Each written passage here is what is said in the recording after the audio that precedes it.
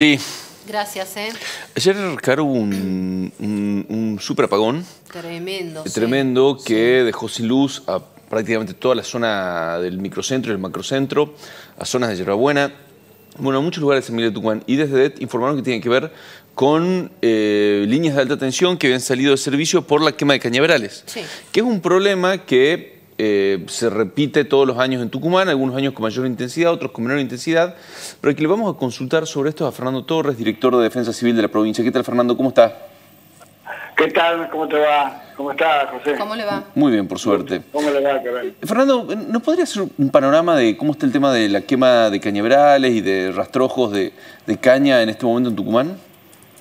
Bueno, hay que decir que estamos en un periodo donde se dan estos tipos de incendios forestales, generales, rurales, ¿no? porque también es una estación seca muy marcada. Pero también hay que decir que el acumulado de lo que va del año en este periodo de estación seca, estamos por abajo de la media comparativa con los últimos, pongamos, 15 años. ¿no?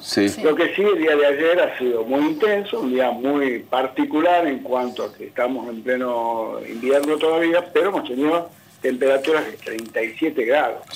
Y esto ha sido generalizado en toda la región eh, y, sobre todo en lo que es Tucumán.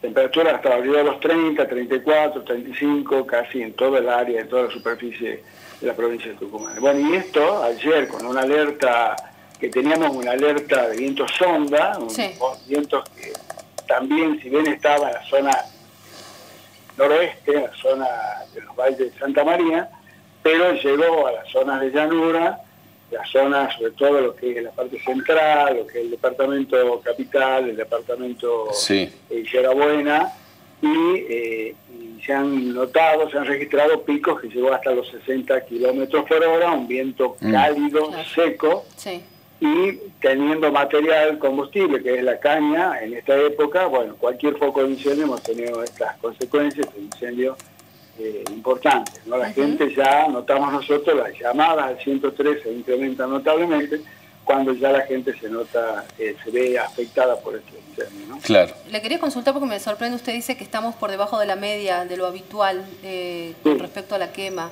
Eh, ¿A qué atribuye justamente ese descenso o es, es por ahora, esto puede aumentar?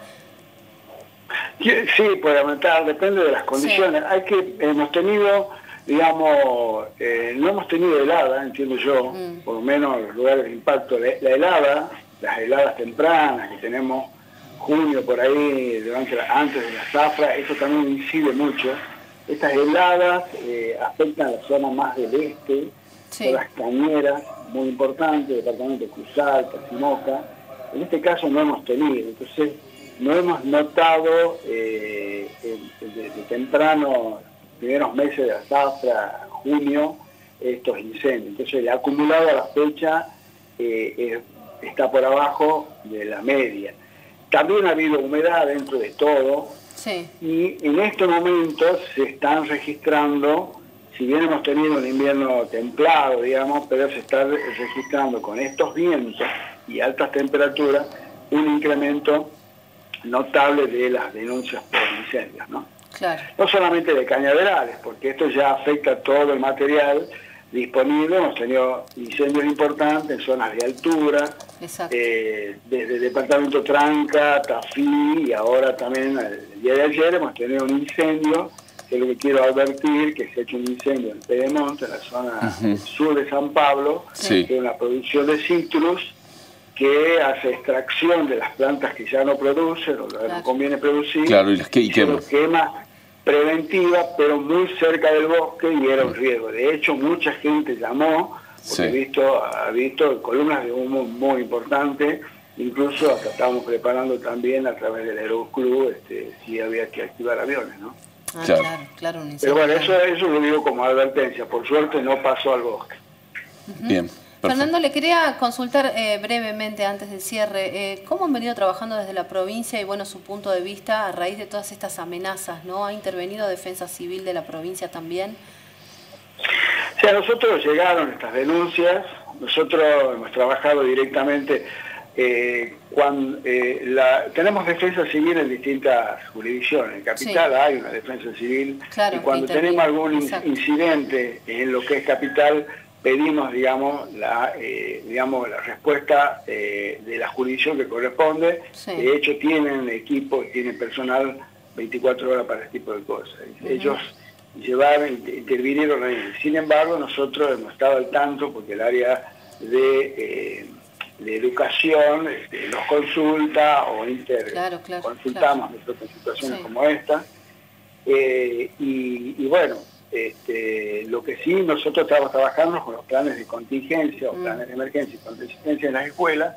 De hecho, desde hace varios años estamos llegando y de parte nuestra lo que estamos viendo es que tenemos que reforzar estas hipótesis de que es casos de amenaza, sobre todo el tema de estos gases que a veces no lo podemos detectar para que tengamos una respuesta inmediata. Nosotros funcionamos 24 horas, pero también en el caso eh, de gases, estas características hay que tener gente muy especializada, profesionales para antemano detectar. De hecho, nosotros llamamos a lo que es gas no, gas no se acercó, no era pérdida de gas, no es gas, ellos no detectaron esto, pero sí sintieron, el personal también sintió este impacto del gas, ¿no? también hay que trabajarlo y vamos a reforzar este tipo de hipótesis. Bien, pero por supuesto se ha incrementado de una manera desmedida, de todos modos no hay que confiarse y a la gente hay que tener preparada para una respuesta. Cómo evacuar, dónde ponerse lugar seguro y sobre todo a quién llamar inmediatamente. Exacto.